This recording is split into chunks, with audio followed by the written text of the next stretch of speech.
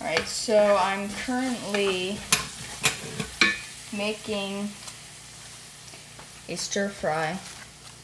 And I've got a little bit of tofu. I already have garlic and onion in a pan, sauteing in some coconut oil. But I've discovered this product, which is organic, and all it has in it is organic pumpkin seeds and um, filtered water. So it's called Pumfu, kind of like, you know, tofu, but instead it's made of pumpkin seeds. but the one thing that it's really good for one is it has 17 grams of protein in half of this, which is four ounces is half. It's a total of um, eight ounces. Yep. And then it's also really high in iron.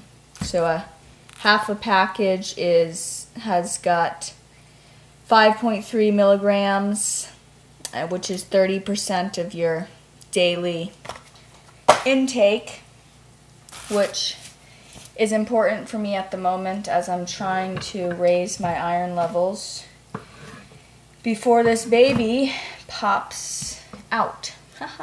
It's January 25th and I am due March 18th, so I'm under two months. Maybe you can tell in the video which ones are, these green ones are Pumfu and the more white is tofu. Finished my stir fry. Looks pretty good. Cooking some rice. It's telling me it's done. Have some salad. Maybe some sauce too. Some sort of a peanut sauce, perhaps. But I did just want to kind of speak about where I'm at at this moment. 32 weeks pregnant. I'm approaching 33. I have a midwife appointment tomorrow that I'm hoping goes well.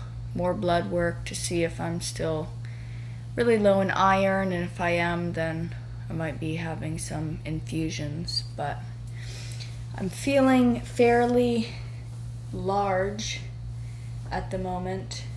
Less than two months to go. February is a short month. It'll go pretty fast. We've got a lot going on here between all of our families, as everyone does with family stuff. Families, as they grow bigger, things tend to get more complicated and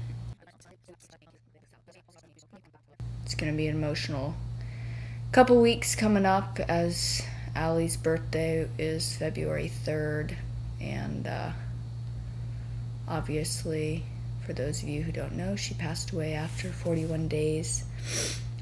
And we got pregnant with this little boy about three months after that so it's going to be a tough stretch and my due date is two days after the day she passed. So